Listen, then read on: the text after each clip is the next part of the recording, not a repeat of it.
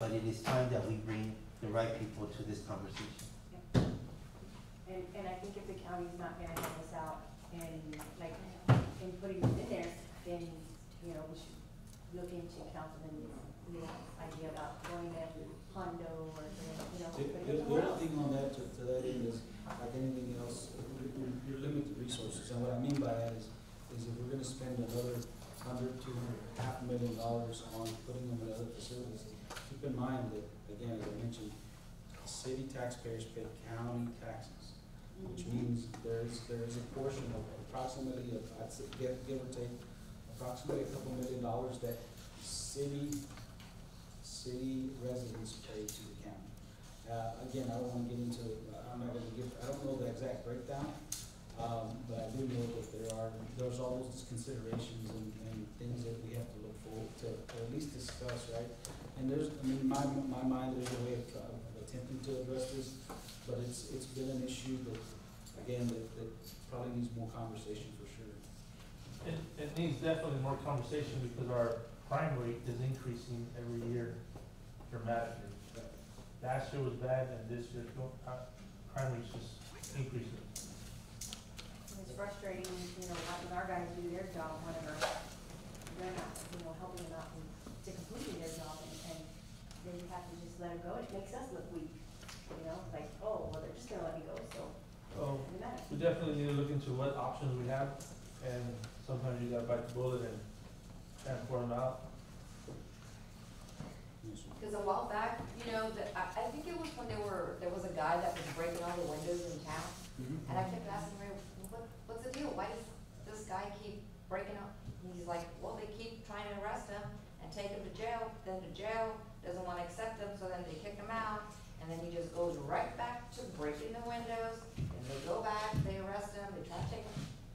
And it, it's just a, a damn cycle that just, it, we're not getting anywhere and the person just keeps being let go and doing his damage at And I the hear cost of everybody, the business owners and, and, uh, I mean, so then, you know, The taxpayers. the taxpayers, yeah, exactly. And unfortunately, I think the nation is seeing a large crime wave of this nature where they're not taking in a lot of people. We just gotta figure out what we're gonna do with ours, with the county. Maybe next week we'll get some answers from the chief deputy. Maybe It'll, can it'll be assist the us. regular meeting, so it'll probably be two weeks. So, and, uh, Fred, by then we'll have the interlocal agreement? We have, we have an interlocal agreement. No, I'm saying that will be provided so we could, We will give you a, we'll give Dissect you a it. copy. It's a, it's a, it's a dated i- interlocal agreement, but there is one that exists. Uh, there's one that exists, and, and again, I could provide you as many that I have. I know that there's an interlocal agreement we have with, the- with them for the jail. We also have one for animal control services. Uh, we have that interlocal agreement we have with them. Um, we're, we are, we are trying to help, and, and- and actually, I think the chief and you guys have been helping with, with animal control, the ETJ. That's the, that's what the agreement reads. Um, there's also, again, on that end, there's fees that are associated, we don't charge fees for, to my knowledge, well, we don't, for help, uh, in ETJ. It's just, on that end, we know we, we, we are required, we should be helping. In so. Fred, you're saying that we help the county with the ETJ? Yes, sir, On animal yes, control? sir, yes, sir, yes. sir. Yes, sir, that's, that's part of the uh, interlocal agreement. There's, there's a couple more, uh, the interlocal agreements, but those are, uh, some that we currently have. So maybe when we take, uh, if we have to take our, our prisoners or whatever to another place, maybe the county should pay for it.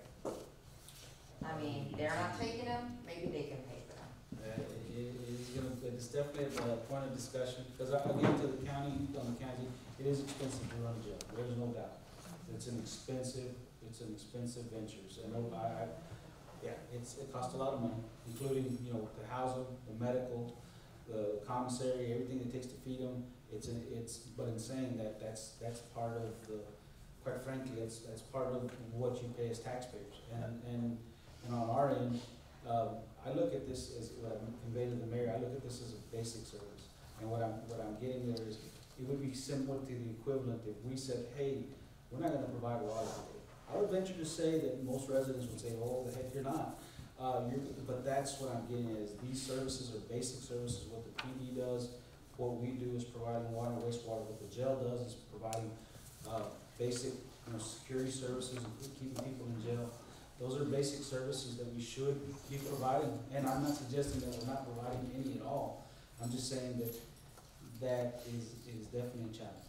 Fred, do you, the mayor, uh, chief, or Ram, do y'all know why the whole facility isn't open, the, the It- gym? To my knowledge, there's ninety-six beds that are available. That's my understanding. I could be wrong. There's ninety-six beds that are available. Now, of those ninety-six beds, if you do the calculation, ninety-six multiplied times thirty beds, times thirty days, multiply that times a year. What I'm getting at is those beds are available. The challenge sometimes is, okay, who's, where's that bed space being taken, right? Who's managing that? I get it. I understand that, that component. Um, and it very well could be that there are just Frio County inmates in there. It could be the case, but I, I don't, I don't know. Not, and it's not my place to know, but, but the management of the jail, um, and making sure that we take, take our, hate to use the word problem children. So, so is it ninety-six, that jail only house ninety-six, or it's only partially let- open to ninety-six? Let me, let me help a little bit, and, and I would tell y'all, these are valid questions, and I, and I think we all want these answers. And so, we're speculating a lot of what is, but let's let Peter come and tell us what these cases are. They, they're at ninety-six right now, my understanding is, to get more than that, it takes them to a whole nother level. They gotta hire more people, more doctors, or what, whatever. But, but they're kinda at a ceiling, and to go higher means a lot more investment. And at- at that, that number, again, my understanding is, they can't be chock full, so they've gotta be like ninety-five percent or whatever, so there's probably like ninety or eighty-eight inmates. And, and, and it is, some of these inmates can't make bond, you know, that they're sitting in there waiting for their ninety days to come up and then they'll, they'll be kicked out. But again, from, from Peter, the jail is full of people that are arrested in Frio County. And so, how many of those are PD arrest, how many of those are SO arrest, how many of those are Texas Department of Corrections arrest, I mean, Texas Department of Highway? I can't give you that number, but he'll be able to do that. So what we need to convey to him is, is, is these things too. First of all, we can understand where he is from his position, but then this is the burden that, that it's putting on us, is that, is that this, we can't, you know, we can't jail our class B and class C misdemeanors to, to put pressure on them. And then we get, you know, someone in a fist fight, and they need to go to jail and they don't get taken, so what, what? Well, and we need to understand, you know, what it is, but it, we, in- until we hear from him, we're just speculating on what the case is. But, but anyway, he said, yeah, uh, he- he'd be more than happy to come, answer your questions, and explain what's happening in the jail. But we all, I, think y'all, I'm, I'm hearing these things, I feel the same way. We, we've got to address these problems. Some of the issues, I can tell you that, that Brenda, you- the case you're talking about, the mental health thing is a whole nother ball of wax. Yeah. And it, it is a whole nother ball of wax, and it is a mess everywhere, and that's right, they, they don't take them at the jail, they go up to the state hospitals, they stay three days, and then they're, let them go. And that's the protocol. I think, I think we need to bring in more than the Chief Salinas. I think we need to bring in the, um, commissioners as well. And judge, Yeah, we'll, we'll, we'll invite them all, we'll bring some, we'll Um, bring some I'm jail sure, personnel. I'm sure Chief Salinas knows what's, what's occurring. Say that again? I'm sure he knows what's going on. He does know what's Yeah. going on. Yeah. Um, uh, and we, we need to, at this point, we need to go with the governing body. We're gonna hear from the council, which is the governing body of the city. Want, want to hear from, you know, we wanna hear from the governing, his governing body as well. So, I mean, is there something that we're missing that we should know, that we don't know? Because I it's think making their know. job, it's making their job a lot harder, and it's, it's costing us. Um, so you're right, what if somebody were to commit a, a bigger crime and we're gonna be in the same situation? It doesn't look good for the community and it's not safe for the community bottom line.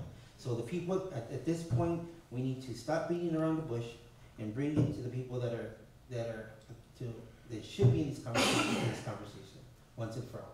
Well, I, I mean, I agree, we're not mm-hmm. beating around the bush, but we're, we're, we're looking to get answers, so we'll, I will, I will invite them all. That's a great idea, invite them all, Yeah. let's have a good round table, and let's talk about it. How long has it been since the county has sat down with city council? About a few years back when we used to do the round tables, Twenty eighteen? Twenty eighteen? Well, six years the- ago. Six There- years. I mean, it, it, it depends, there's been county and city people sit down together, the, the old engineer would come in quarterly and we'd sit down and talk about roads or maintenance things, so there's been, there's been dialogue, there's been, there's been dialogue. But anyway, y'all, we can keep going on this, it is an issue, I mean, it's not going away, we'll do that, I'll Yeah. invite them all the time, and then, Motion to you know, adjourn. maybe, well, well, maybe, maybe what, what we need to do is just do that. Maybe we just need to have a, an open meeting with the city and the county, It doesn't need to be at a necessarily a, a council meeting and just sit down and chat. Yeah, I- Bring I'm- the PD, the SO, council, I think the, the major issue amongst the whole community and probably all of Olive County is going to be the jail. And I think that we should not only just invite the county, but it might be a good idea to even invite Dilley, because they might be having the same problem. well, yeah, yeah, and, and, y'all, it's part of the equation, and then if, if you get too many people in the room, it may be a little bit hard to, to get where we're going, but the, the magistrates, the, the judges, that, that's all part of the equation. I mean, it's, it's complicated, it's complicated, but, but we need to get some resolution. We need, we need, we need to provide the tools that he needs to, to, to be effective. And if they're doing the arrest, and they're not, and there's no teeth, then we're back to square one. But, but anyway, we're going around and around, we need to move on, but we, we will do that. We'll invite them, and either we'll invite them all to council, or we'll have a council, county meeting. meeting about the jail, and we'll invite all, all you. We'll make it happen. All right, Chief, what else you got thank for us? You. I don't know if you're done or not, but thank you for Yeah. Yeah, everything you've done, and thank you for, uh, I mean, I'm excited that you're excited that you're at, how many officers now? Twenty-two. We're at nineteen because we have one in the academy. Oh, Or I'm sorry, eighteen because we have one in the academy and we're in the process of, well, Ms. Yanis live. Uh, we're in the process of getting the, the last guy hired. He actually did the physical and all that. So how much last week. are you gonna have total? We're, we will have nineteen plus the one in the academy after we hire That's twenty, this guy. and then twenty-one with you. No, I'm part of that twenty. Then the new, the new budget will be the additional two, so Those those will will be be the two, yes, so that put us at twenty-two. okay, all right, well, y'all, we're gonna, we're gonna move on. We're at the three hour and twenty minute mark. Oh, I'm counting the animal control, my bad. oh, All right. Okay, next up is Parks. Thank you. Can I mention one more Yeah, thing? of course. yeah. Um, Animal control, Ethan Elizondo, he, uh, state came and checked the kennels today, he passed their- their state inspection. Awesome. And who is, Outstanding. Outstanding. Yeah, good, good news. Chief, are we, are we at max capacity with the, with the kennels? Cause I've been hearing complaints from, uh, around the Frio apartments, we've had bad, bad, bad, you know, situations with the dogs. Uh, we have cats, which I love the cats, everything. Yeah, Unfortunately, we can't pick up cats, man. No, no, no, no, I don't want them to pick up Oh. cats, so they keep the snakes at bay, Oh. because we're, we're by the field, so. You can take mine. Let them stay there, but the dogs, the dogs are attacking all the cats, and they've been calling animal control, and the guy just told them, well, ma'am, I can't do anything about it because I need to Shelters check in with full him. I capacity. need, I need to check with him as far as the, the capacity, cause there are several bases that are, that are inoperable. I, I have solutions to that dog problem. Okay, uh, Chief, real quick, uh, Yes, sir. before you head out, the chickens, did they, did he pick up the chickens or no? The only, the only reason why I'm saying is because I actually ran into someone in San Antonio, and they said they had been to Pearsall before. They say, I know you have a lot of chickens. We do. Well, they have an issue I think you're about the chicken. I would catch them, or if I paid people to catch them and sell them to me. Say, come on. We actually did something a few years back that was five dollars a chicken. I don't know if you remember. Oh, I'll buy some. They wanna make a donation to the city for every chicken they. Okay, all right, in the, in the sake of getting us all home in a decent time, Parks and Recs, you're up. Mayor, Yeah. actually, I need to, uh, cut the meeting, I need to extend our time, we're about to stop recording. What does that mean? I need to go ahead and edit the time frame on Zoom. Okay, So so I we need can to stop go for a ahead. little while, or we need to Yeah. adjourn? I Postpone need about tomorrow. five to ten minutes just to go ahead and. Okay, council, it is now nine, it is now nine twenty. Um, we are going to adjourn tomorrow night, and we'll pick up right here, and we're gonna, this is gonna be the, tomorrow night's gonna be the abbreviated. So study your package, have your questions ready, and we won't chase too many rabbits, but we'll get all your questions answered. With that, we are now adjourned till tomorrow at six o'clock. Thank you for coming.